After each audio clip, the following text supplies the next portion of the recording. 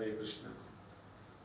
Uh, Mataji, we had very good answer from you in regard to gender equality, but uh, uh, you know, really, uh, the incidents what we are seeing now nowadays across India, the men are behaving like like you know like animals, and like you know we can't even imagine, and also we can't even discuss in detail, you know what is really happening towards women.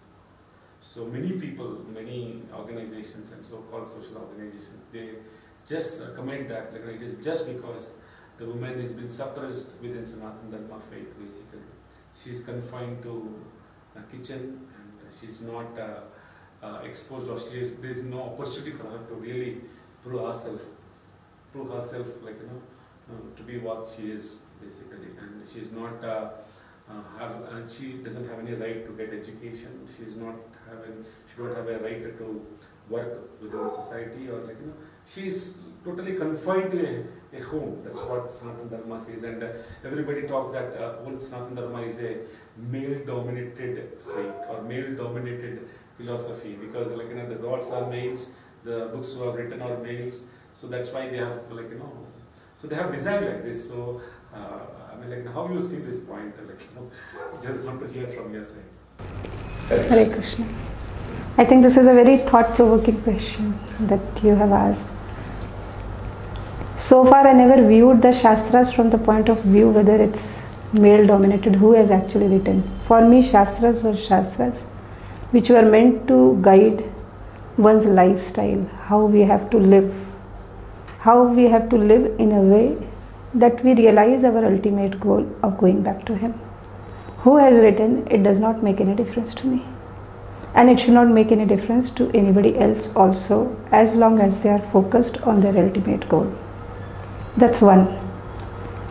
And then, when it comes to why things are happening the way they are happening, I think there are several several aspects to that. It's not just one reason. Okay, if we identify this, the problem is resolved. It's a very complex thing. When we talk about right, like women do not have right, so immediately it means that men have right. So right the moment we say the word right, it comes with two aspects rights and duties. They go hand in hand. So, if they have more right, means they have more duties also, they have more responsibility. And they have, according to the Shastras, it clearly says a person cannot become a husband, a guru, a leader, or a king if they are not able to ensure that their dependents go back to Godhead. They do not have this right. So, naturally, it automatically means that they have this duty. So, a man has to accept this duty if they are having this right which is there on them. They are marrying, naturally, they have the duty of a husband, they have to fulfill it. So, when we are saying that they have more right, they have more duties, I think we should feel happy that we have lesser, lesser duty, we have lesser, lesser responsibility and it makes things a lot easier for a woman because we have lesser if we do very less if the man is focused the man knows what his role is what his responsibility is what his duty is what his ultimate goal is and the woman is able to serve that person it gets a lot easier for a woman to realize the goal it's so much easy if there are steps and we have the option of an elevator of reaching the top floor I think we should be very happy and clapping our hands in joy that we have got a lift. Why should we feel bad about it that no, we want to climb the stairs and go? So I, I think it just boils down to that. And when it comes to the second aspect, why things are happening in such an unfortunate way, it's a very complex situation which starts from not just from this age, but e- even before that we have had incidents in Mahabharata. Arjun mentions about it. He is not ready to fight the war because he feels if he does, the women will be polluted, and as a result, Vanshankaras will be born, and all our culture will be gone in the process. Even the basic kriyas like uh, giving the pindas and all, even that will be lost in due course of time. And now we are seeing we are just uh, not even the first leg of Kali Yuga and it's already going, it's already disappearing. So, with that, we whatever we are seeing, it's because none of the sanskaras have been have been followed. When we talk about the four activities which are common to a man, a human being, or an animal, is ahar, nidra, bhay, and uh, methunam. But as a human being, we try to purify all our four activities. When it comes to ahar, we purify it by offering it to the Lord and taking the prasadam. When it comes to nidra, we take rest because we have to rejuvenate ourselves for serving Him again. And when it comes to bhay, we have a house. We don't plan for big, big palaces and all. We need to have a shelter so that we are well protected. We take care of our body so that we are able to keep our body and soul together to serve Him. And same way, we procreate because we want to have devotee children to serve Him further and to pay the debts that we are born with. But when these things are gone, then automatically it will result in so much of disintegration of the society, which is what is happening at the moment.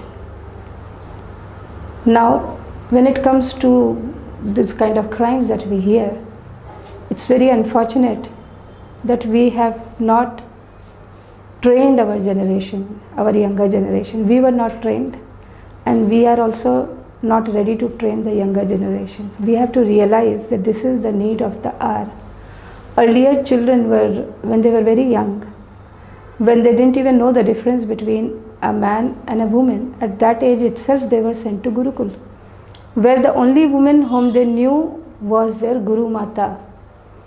And that's how they were educated. Shiksha meant that all the men they see other women other than their wife as mother this was the psychology which was developed. So mother is mother you cannot take her lightly. You see her with reverence you see her with love you see her with compassion because sorry because later on when she grows old the, the son who takes the responsibility of protecting the mother. So you have love also for her you have compassion at the same time you have reverence for her. But this kind of culture is now slowly going so that brahmacharis were trained in that kind of setup while girls were trained in chastity. They were not allowed to mingle. But here at every point we are giving them an opportunity to intermingle with each other, mixing with each other, be it school, be at home, be in the outside society. So what kind of psychology are we really encouraging them to develop? We are not giving them the positives but we are definitely giving them flooding them with all kind of negativity around. Almost every child moves with mobiles. Where is the room for mobile? Where is the time to look at the mobile? We don't have time to take care of our children and later on children don't have the time to take care of their parents. So they are having totally unguided childhood while there is a person who is guiding them on the wrong way. We are not able to control that. So that child be it a boy that's also getting a distorted distorted psychology where girl is treated just as an object just to fulfill their senses their sense gratification. And similarly girl also has similar exposure.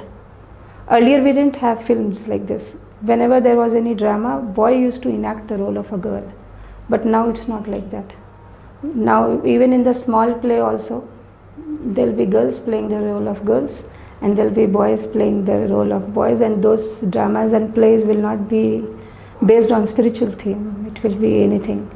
And that has further graduated to movies which has further distorted the media. So we are encouraging our generation to take to something very negative but that is being glamorized and when it happens in the general society same acts which are done on the screen if they are done in the real life we condemn them. How can we do that? When we accept them and clap our hands when they do it on the screen we clap we adore it it's it's just fine with us. But when they do it in the real life we start condemning them. I think this is where we have to decide which way we want to see. We are confused and we are giving confusion to the next generation also so we people who can think they should sit together and decide okay now enough is enough. Better now we should start sending our children to the proper educational system because this education system is not giving us what we exactly want what the society wants. These things are only going to get worse and worse with the coming time. Hare Krishna.